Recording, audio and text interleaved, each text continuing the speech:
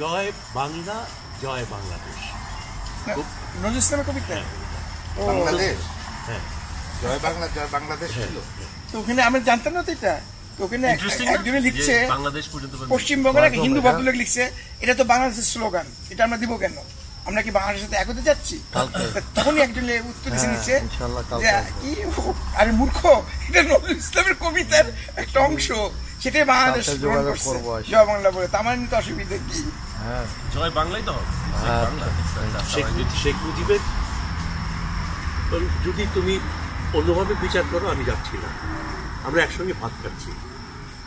রুটি আর পুঁটি মাছের চচ্চড়ি আর ডাইল। এই হচ্ছে রাতের মেনু আমাদের।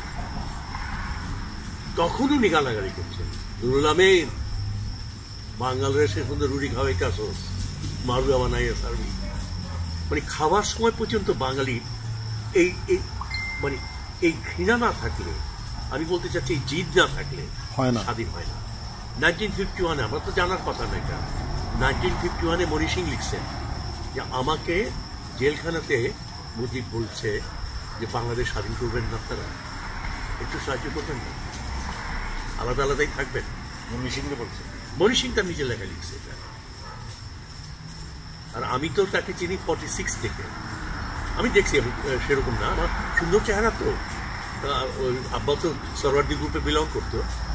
আব্বা কখনো নাজিমুদ্দিনের আর এই নুলামিন গ্রুপে বিলং করেনি আগাগোড়া সরওয়ার্দি গ্রুপ আবুল হাসিম সরওয়ার্দির গ্রুপে আব্বা ছিলেন অল্প কয়েকজন মানুষদের মধ্যে একজন, কলকাতায়। আবার একটা হোটেল ছিল, পলাশি হোটেল। সেখানে তো তারা আল্লাহ রাস্তায় খাইতো, বাস বিজনেস চলতেনি শেষ। বরিশাল হাউস একটা ছিল সেটা বদলায় আমরা এই যে রাতিকামন বসাকলেন গরুনিতা শাহী স্ট্রিট গোয়ালনগর চারটা বাসা পেয়েছিল। একটা বাসা কিন্তু আমাদের নিয়ন্ত্রণে নেয় তো তখনই আমি শেখ মুজিবকে দেখি। পরে দেখি আমি রূপমহল সিনেমার সামনে রিক্সার মধ্যে বক্তৃতা দেয়। রাষ্ট্রভাষা বাংলা ইত্যাদি নিয়ে। আবার আবার খোঁচা দিলাম। আবার ওই যে মানুষটা। আবার ওদিকে তাকে হাসপাতাল বলল সাইকেলে যাচ্ছে। খালুদন মুসলিম না তখন তো আব- সবাই মুসলিম লীগ। মুসলিম লীগ করলেও তো বিরোধী দলে মুসলিম লীগ। আমরা তো কোনো হাউস পাইনি। মুসলিম লীগের হলে তো এমএলএরা তো সিমসন পাঁচ নম্বর সিমসন রোডে তো বাড়ি পাবে তো। বিরোধী বলে? হ্যাঁ? আপনাদের বিরোধী?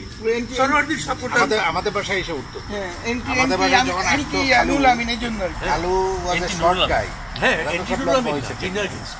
যে কিন্তু পার্সোনালিটি মানে যে টুপি আর যে আসকার আর একটা লাঠি মানে জমিদার কারে বলে আর কি।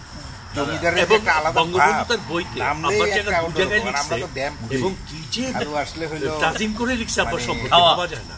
পয়সা থেকে খাওয়া আনতে মিটিং হলো। আসছে আর কোনো আমার খাওয়ার ব্যাপার নয় ভরি করাচিতে ফার্স্ট পাকিস্তানের এডুকেশন সপ্তাহ হচ্ছে। সেখানে উদ্বোধনী ভাষণে এই ফজলুর রহমান বলেন বাংলা পাকিস্তানের রাষ্ট্রভাষা হবে উর্দু হ্যাঁ সেটাই বলছিলাম বুঝতে কি বলেছেন বাংলাদেশ ওই যে বাংলাদেশ না ইয়ে বলছে পাকিস্তানের রাষ্ট্রভাষা হবে উর্দু জিন্নার আগে যে বলেছে তার উনি নাম বলেছেন। ফজলুর রহমান তাহলে এটা এই- তো কেউ জানেন জানে বহু জানে এখনো তো জানেন না। অনেক অনেকেই জানে এ- যা- অনেকেই জানে বলে না তো এইটা তো পয়সা থাকলে বলতে না। भारत भाषिक नेता पंजाब और सिंध गुजरात माना দ্রাবিড় উৎকলাবাঙ্গা তো পাঞ্জাবও ভাগ হলো বঙ্গও ভাগ হলো। রবীন্দ্রনাথ আগে থাকতেই বুঝতেন মাঝখানে দেখতে গেছে। পাকিস্তানকে নিয়েছে নেহরুজি এবং জিন্না এটি মহাখুশি। Jinnah was crazy to sign governor general of Pakistan ওই যে লাস্ট যে চিঠি পাওয়া গেল। তিনি ভাইস সঙ্গে কথা বলছেন আর প্রত্যেকের কাছে খাতা থাকে তো নোট থাকে। উনি লিখতেন M A Jinnah governor general of Pakistan M A Jinnah governor আর সেখানে নেহরুরা এরা হচ্ছে ডিপ্লোম্যাট মাউন্ট ব্যাটনের চাকরি থাকেন আমাদের গভর্নর জেনারেল তো অ্যাডভান্টেজটা গভর্নর জেনারেল মাউন্ট ব্যাটনকে নেহরুকে দেবেন আর জিন্নাকে দেবেন জিন্না ওয়াজ মোর পেট ব্রিটিশ গভর্নমেন্টের মোর পেট ছিল জিন্না এবং অন্নদাসনগুলো যেটা ঘটছে যে গান্ধী না হলেও ভারত স্বাধীন হতো জিন্না না হলে পাকিস্তান হতো না হ্যাঁ ওরা একটা বইতে কি লেখা জানেন যেমন লাশ হয়ে গেল না পাকিস্তান সেরকম লাশ হয়ে জিন্না জিন্না সারা পাকিস্তানে হওয়ার সম্ভব ছিল না জিন্নার উপরে তো বই অসা- অসংখ্য বই বেরিয়েছে ইন্ডিয়াতে বিউটিফুল ফিলিংস আমি শৈলেশ্বর বন্দ্যোপাধ্যায় তো এবার মা- আমার কাছে বলতে যাচ্ছে চিন্তা করা যায়। ওদের কি করবো শৈলেশ্বর বন্দ্যোপাধ্যায় হচ্ছে গান্ধী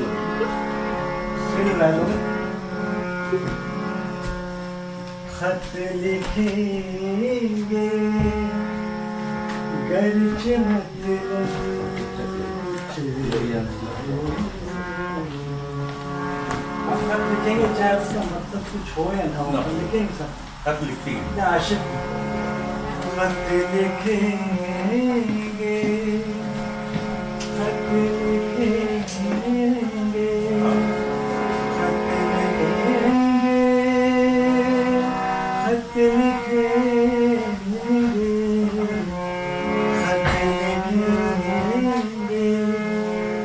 गर्ज मतलब